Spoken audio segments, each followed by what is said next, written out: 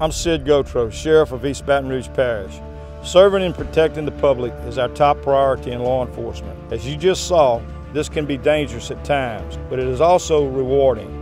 This career is a call for service. I believe it takes a special individual to put a uniform on and answer the call to serve the community. There are many things I look for when hiring a deputy. We look at intelligence, we look at your strength, but most importantly, we look at your heart.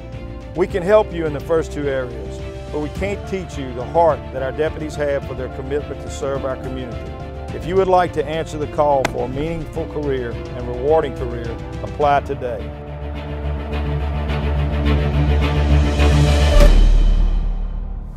I'm honored to be the sheriff of this parish and this department. I would be proud to have you as our next deputy. Join us today.